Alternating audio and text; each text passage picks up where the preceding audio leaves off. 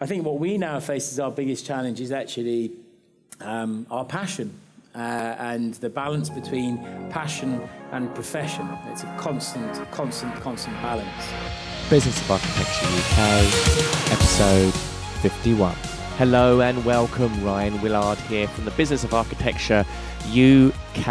And this week we are going to give you a treat and you're going to get to hear the panel discussion that happened a few weeks ago uh, at UNI office at the last BOA UK live event. And that event was focused on the seven threats to an architecture business. And in this podcast, we have our guest panel, which comprised of David West from Egret West. He is an urban planner. He's one of the founding partners of Egret West. They've grown their practice to around 50 to 70 people, I think it is.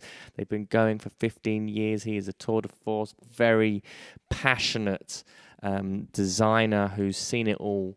Um, he was on the panel. We had Hazel Rounding of Shed KM, and Hazel, she's been involved in KED from the very earliest days of its inception, um, a little bit after when it came out of Urban Splash, um, and when it was based up in Liverpool, and she spearheaded the new office that's happened in London. And again, she's seen, she's sculpted, she's crafted this business, and she's seen it go through all these different uh, stages of its evolution. Um, we have Johan Taft, the Navy SEALs of business mentors, who's worked with many, many different companies, taking them from being good to consistently good, and he knows intimately how businesses have to deal with these seven threats and how they can na- best navigate them.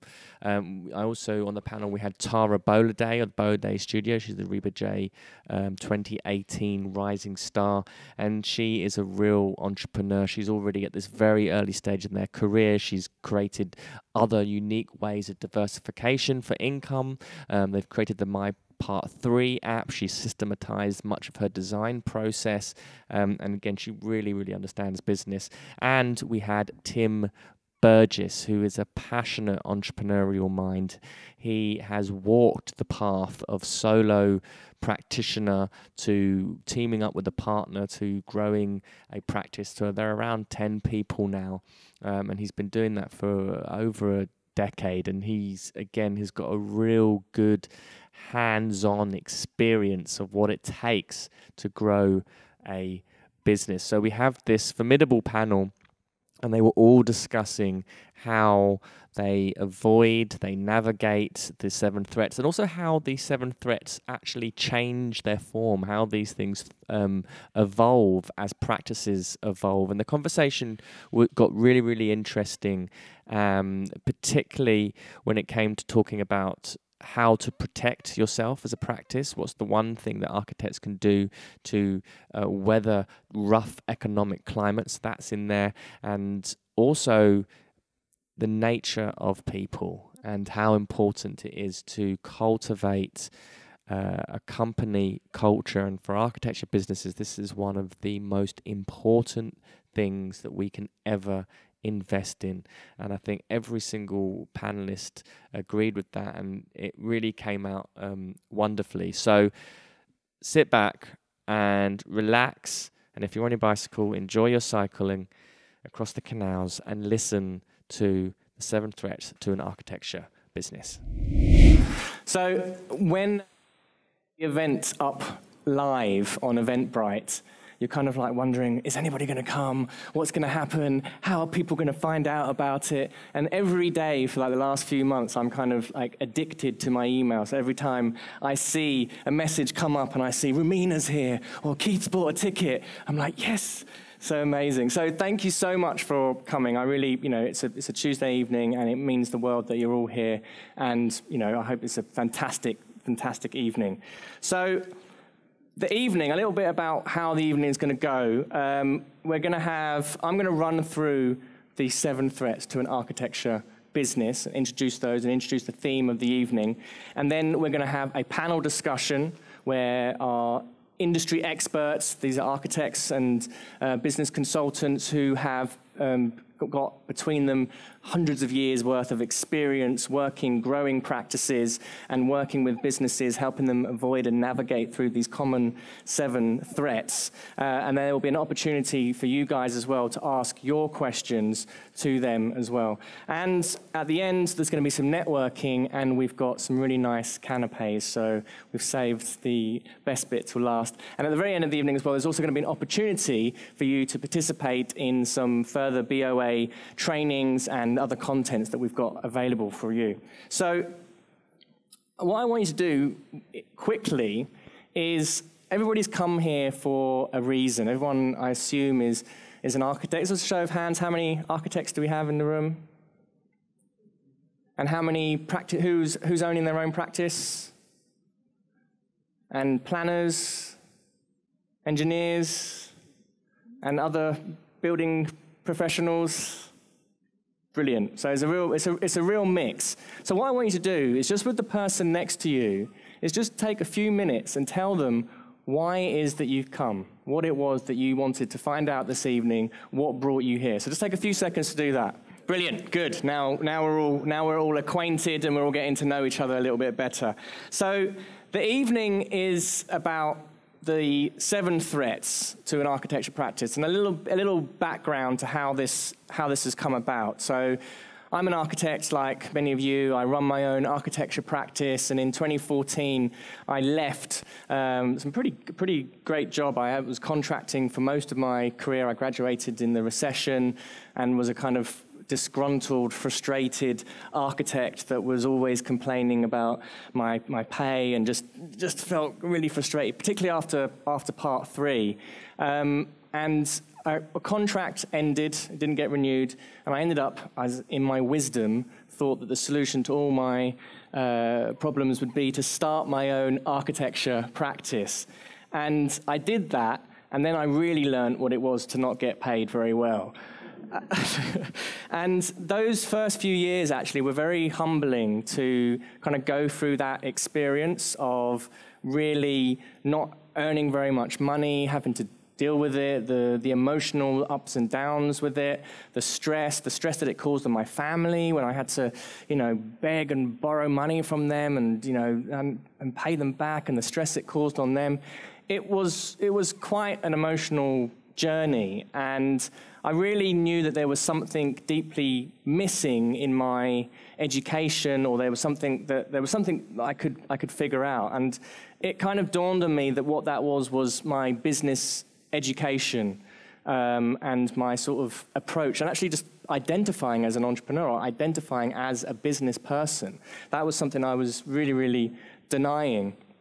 And I started reading books. I started getting interested in business education. I started devouring absolutely everything and kind of got really obsessed with it. And my heroes began to shift from people like Mies van der Rohe to becoming really interested on people like Elon Musk and, and Jeff Bezos and these other types of characters who perhaps I wouldn't, I wouldn't have been interested in. And also money really getting, you know, what is it? What I, I kind of just accepted. I'd accepted for a long time that architects don't get paid a lot of money. And it was actually causing me a lot of, a lot of pain. And I wanted, I knew that I was responsible for how much I was earning. And I wanted to take total control of that.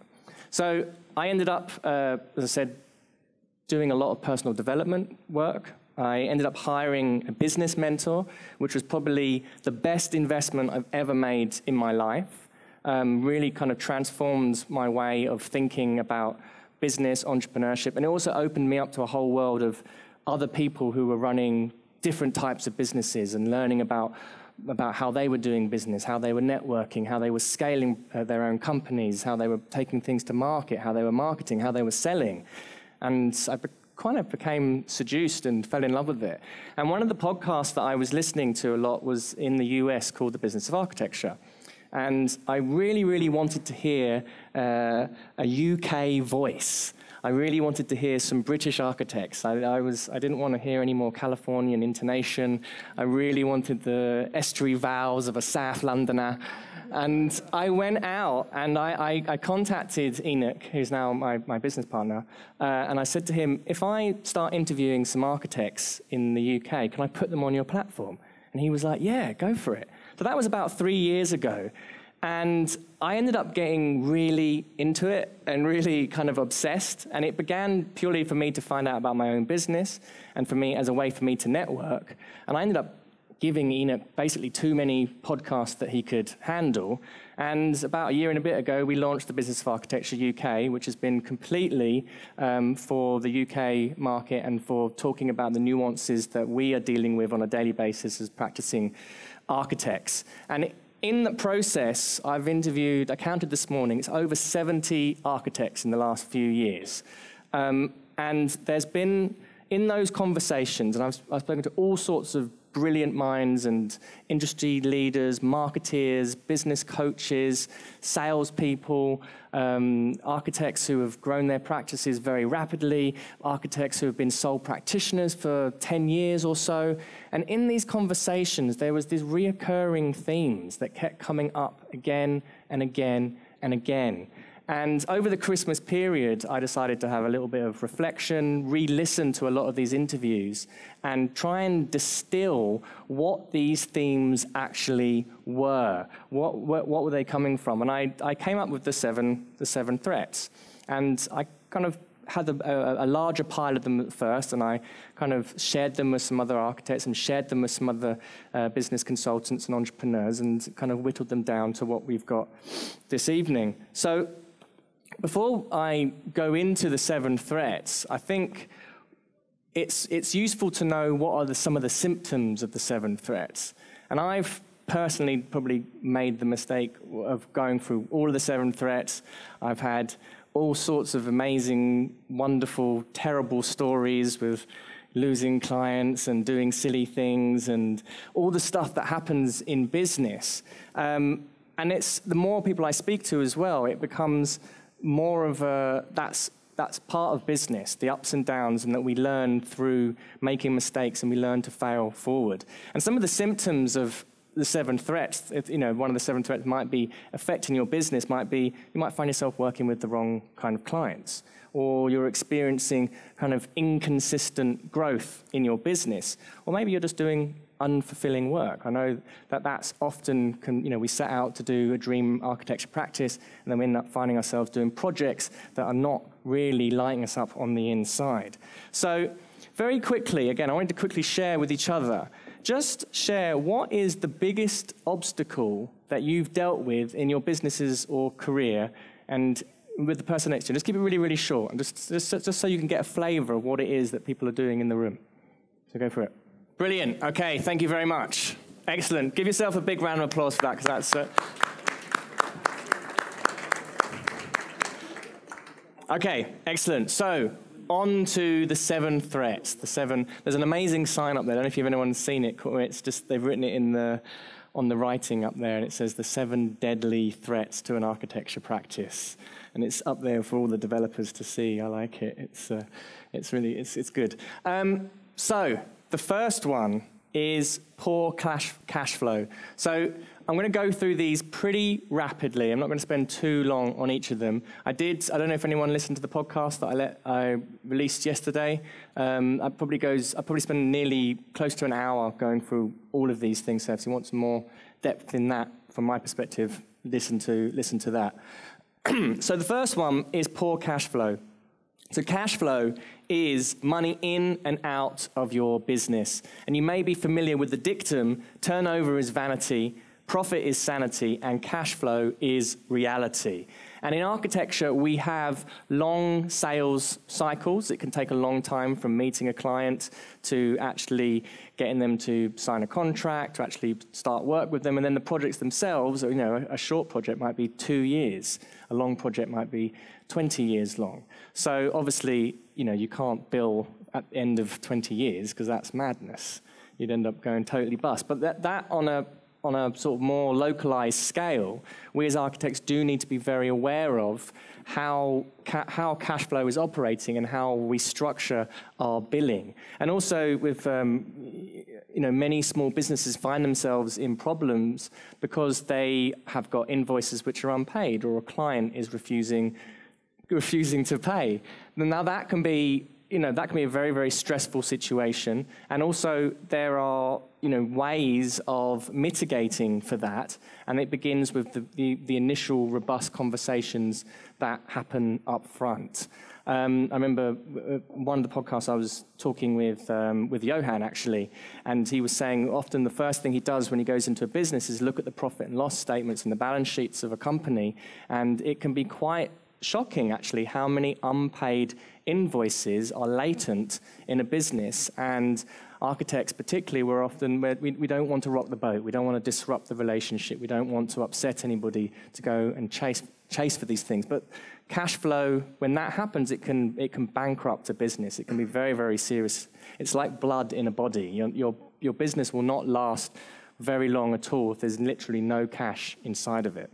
So that's the first one. And on, on and cash flow is also always a result of your sales and your pipeline activity. So a lot of these, we're always going to keep coming back to sales and marketing, sales and marketing, sales and marketing. That's kind of become, so I want the mantra to be sales and marketing, sales and marketing, sales and marketing, because that is, that is the engine of any business. So number two, lack of resource. So I've broken this down into, into three. So money and capital, time, and staff. And here I'll just touch upon money and capital because when you've got money and capital, things can happen as well. You can kind of you can buy time, you can buy staff, you can employ people, you can build teams. But most businesses fail purely because a lack of resource and a lack of capital to begin with.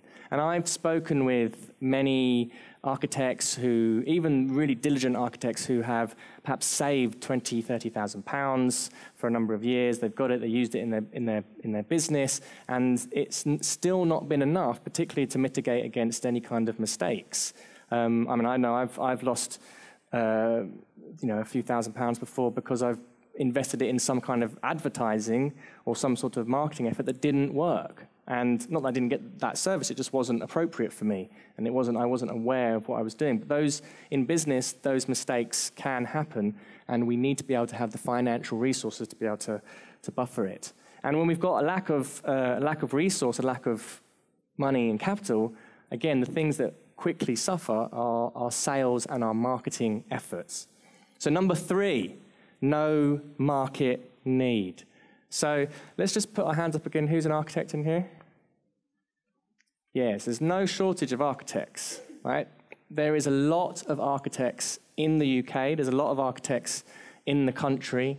Um, not only that, is that we are also in competition with other building professionals and other services that provide very similar things, other similar services. And from a client's perspective, it's very difficult to distinguish between an architect, an architectural designer, um, even someone who's doing planning services, or it, it can be very, very murky. And as architects, and again, I use myself as an example when I first started up my own, my own business, my business was about me.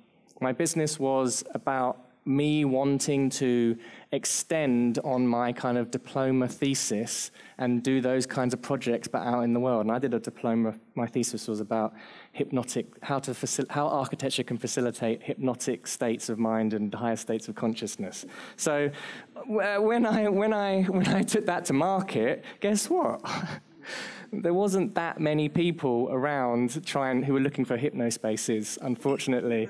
that, that said, I, I did actually, one of my first projects was with, a, was, uh, was with a Buddhist monastery, so that is fairly, that is fairly, that is fairly similar. However, with that as an example, why they ended up hiring me was because of experience to do with listed buildings, not because I had this architectural agenda. And often it's very easy for us to communicate our own personal agendas, and there's just nobody cares.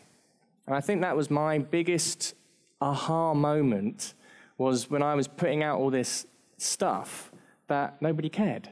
And actually, it set me free a lot because it actually meant that the way that I could distinguish myself was to start listening for a market need. What, what problems can I actually solve? What do my clients actually want? What are they dealing with? What are their you know, troubles? What are the emotional drivers behind their projects?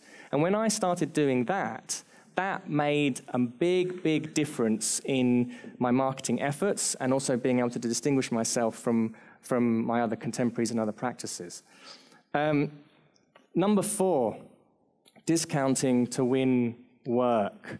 So when we discount, the conversation automatically goes to price.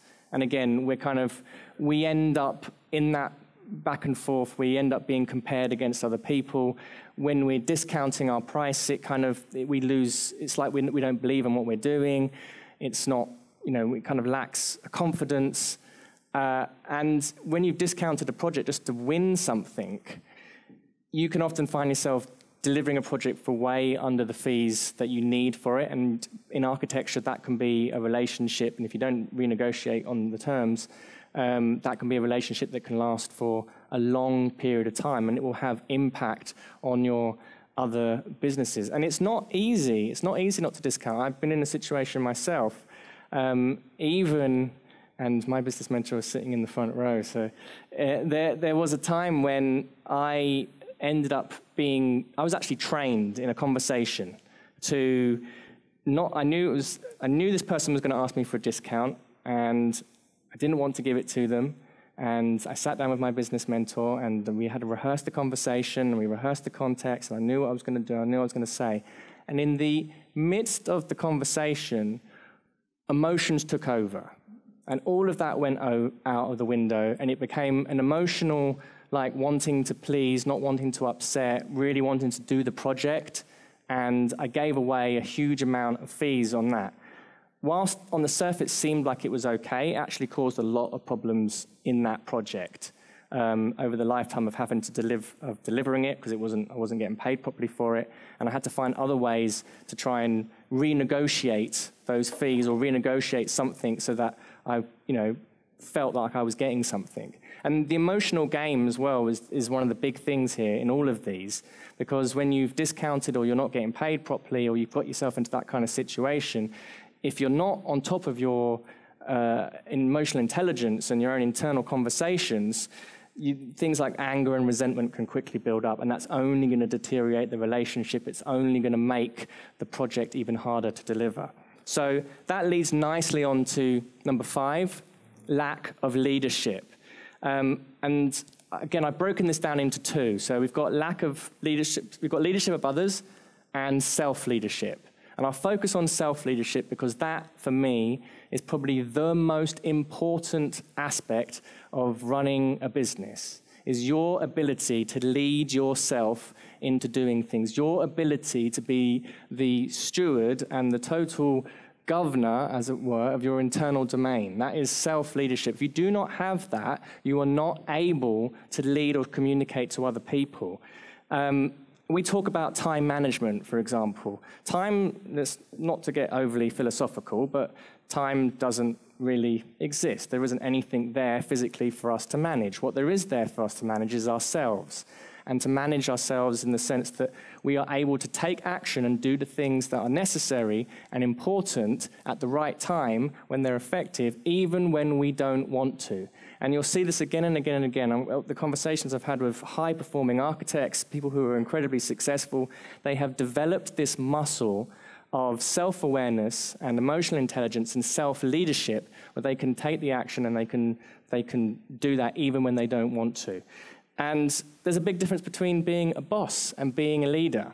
So, being a boss is more where we, it's, it's much more of a, a, typical way of human negotiation, where we're trying to convince somebody to do something for us, we're trying to manipulate, we're trying to flatter, we're trying to, you know, all those sorts of things to try and get somebody to do something. That's boss, being a boss. We've all had bosses like that. We all know when it's happening. We've all done it to other people in that kind of uh, in negotiation. But being a leader is, is quite different. Being a leader is much more about seeing the leadership in other people. And that's, a, and that's partly because you've seen it in yourself, and it's partly um, you know, when, you, when you're able to do that, it gives people the autonomy and the responsibility to really take ownership of lots of, of lots of different things. A good example of that, um, I had the good fortune to work with Richard Rogers in my, in my career. And he was one of these leaders who he did not discriminate between if you were a part one or you were an architect. And he was able to communicate with you as if you were a leader. There was something about, you know, it was obviously a bit of sort of hero worship as well, but when he said something to you, or like, you know, you go and do this, it was very, very empowering. And he had a very kind of, um, uh, a very strong leadership style, the way that he was able to facilitate his business. So, number six, fear of selling. So, we all hate selling, and when we, when we think of sales, we think of Del Boy type characters and dodgy car salespeople and you know those irritating. Does anyone get those irritating phone calls that just phone you up and it's somebody they ask you what accident you've been in? Does anyone actually talk, talk to those people? I always talk to them. I always, I always see what their sales patter is and see, and, see, and see what they've got going on. And generally, it's terrible. It's just a blatant pitch. They will just talk at you. There is no communication, and it's awful. Like, it's just horrible. And you know the person on the other end of the phone is cringing and wanting to die a little bit as well. and it's really, it's really, really unfortunate. And that is what we think of when we think of sales. And that's how society has trained us to think of sales. Sales salespeople are everywhere. Our culture is overly um, consumerist, and that we're being sold at every moment of the day, all everywhere, adverts, adverts, adverts. And we've kind of got our defenses up against sales. So being associated with sales brings up an aversion.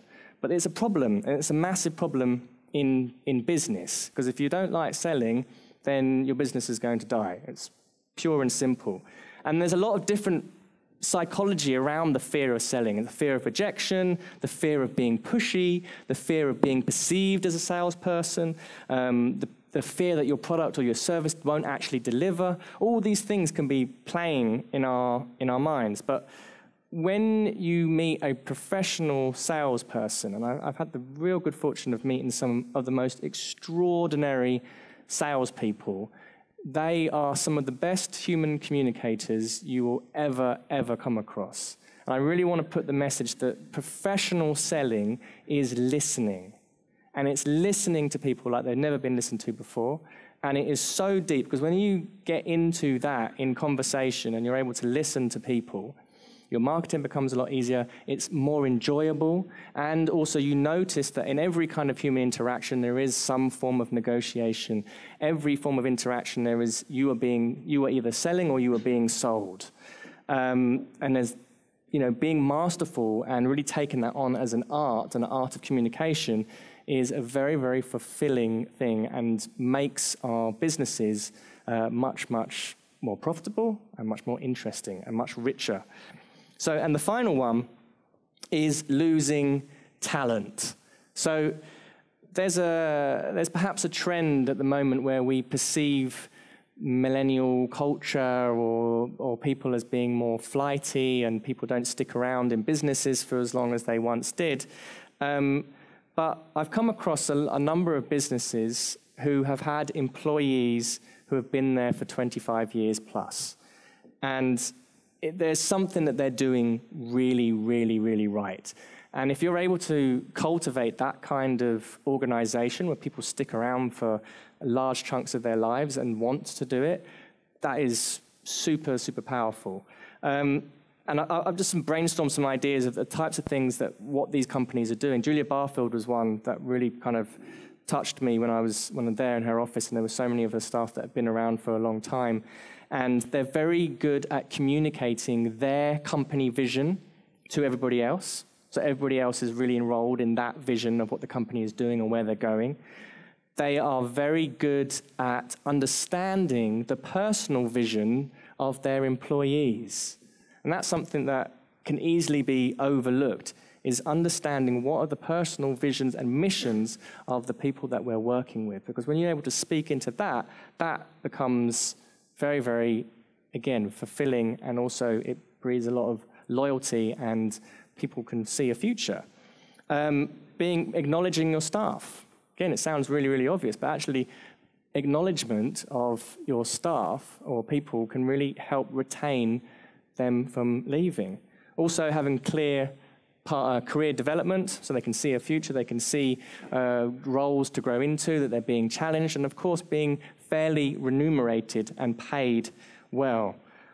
And another thing, I think, as well, some of the, some of the best, you know, the most famous practices in the UK, um, again, RSHP or Foster's or these, these kind of the, the, the archetypal practices of, of, of modern Britain, these architecture practices, not only have they been very good at doing that, but they've also been very good at creating new businesses where people have left and they've become other forces in the architectural industry themselves. And I think that's really, really interesting to look at and to, and to see that kind of uh, leadership and how that's been operating. So, that is the seven threats. Take a picture of it. I want us to kind of really think about these as much as possible because they've been on my mind for, for a while and I think they are, I think they're really, really important. So what I want to do now is I'm going to introduce our guest panel and we're going to hear from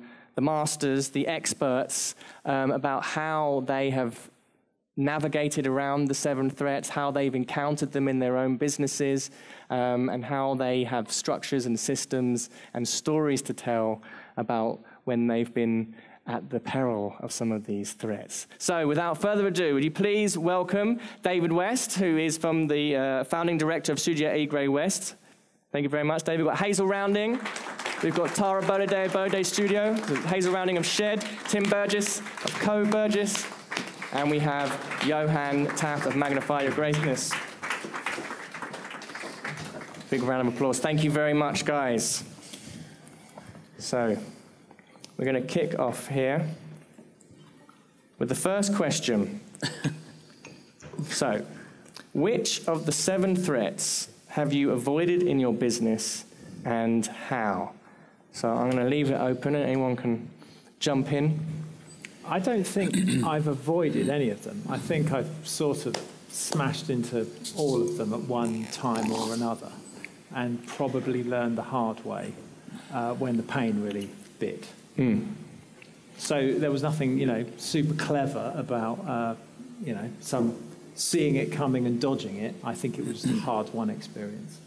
And was there anyone, anyone particular that's been that you've dealt with recently, or well, oh, um, cash flow is a, as a small business is always at the top of the agenda. I was having a quick chat with um, David before we started, and he was saying, you know, for him, that's no longer the primary issue. Once you get to a certain scale and you're at a certain um, size, those things become less important, and other things do.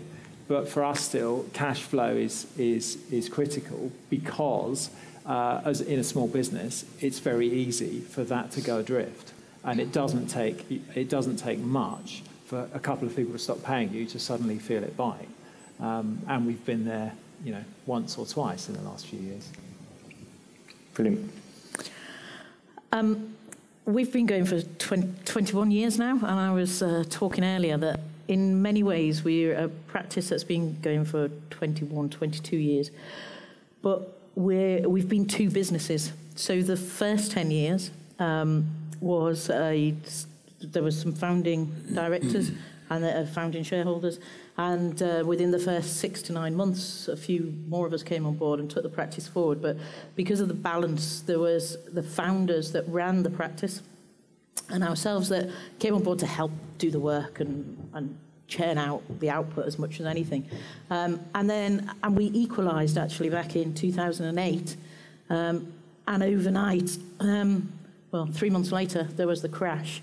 And so we actually, the, the, three of us that came on board a little bit later on, inherited a business that had one client, 25 staff, 250 grand's worth of unpaid bills, um, and you know a profile which was a sort of two million turnover practice.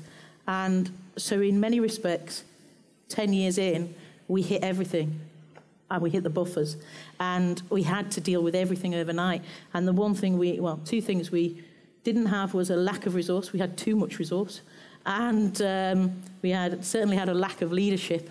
Um, uh, and we had too much talent, actually. We had too much talent and too much resource. And so, in many respects, the practice that I now run, we started 10, 12 years ago with all of those issues on a pretty grand scale and in the middle of a recession. And so we had to deal with the issues before we built the business. We had to deal with redundancies. We had to deal with getting the cash, um, payment plans from our one client that existed at the time.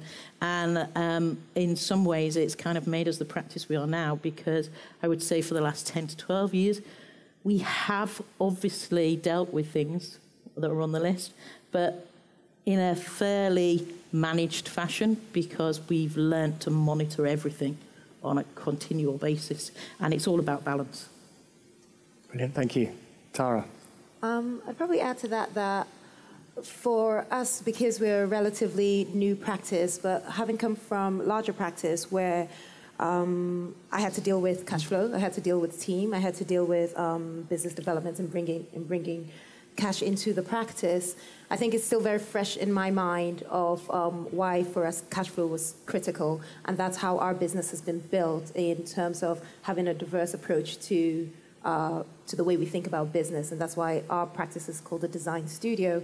So we focus not just on architecture, which is our background and what we're passionate about, um, but also product and uh, development.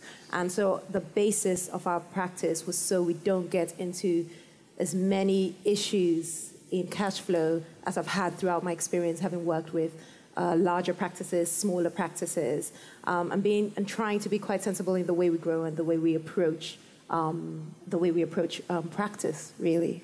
And I think it moves for us into uh, the concept actually of lack of uh, leadership. I think is critical, obviously, and particularly self leadership particularly when you're um, being entrepreneurial or entrepreneurial in the way we approach it, because I feel like that is the um, that's the foundation for everything else. Brilliant. Well, I teach this stuff, so I don't really have the luxury of not getting it right. Having said that, uh, in the early days when I came out of large corporate and set up my own business, I faced all of these, and it was daunting. Um, the day before, I could pick up the phone and command a quarter of a million pound budget, 40 people, whatever. I had massive resources. The next day, no one on the end of the phone, just me in my little home office. And so I had to go through all of these one by one. Uh, luckily, I came from an industry that was very strong on all of them, and I was very well trained and, um, and worked with all of these right from the early days, from 16 onwards, I, I, I, dealt with all of these on someone else's someone else's business. So it's a bit like going to paid paid to learn. So it didn't take me too long to get these strong. And when I needed them, when I set up my own business 22 years ago now.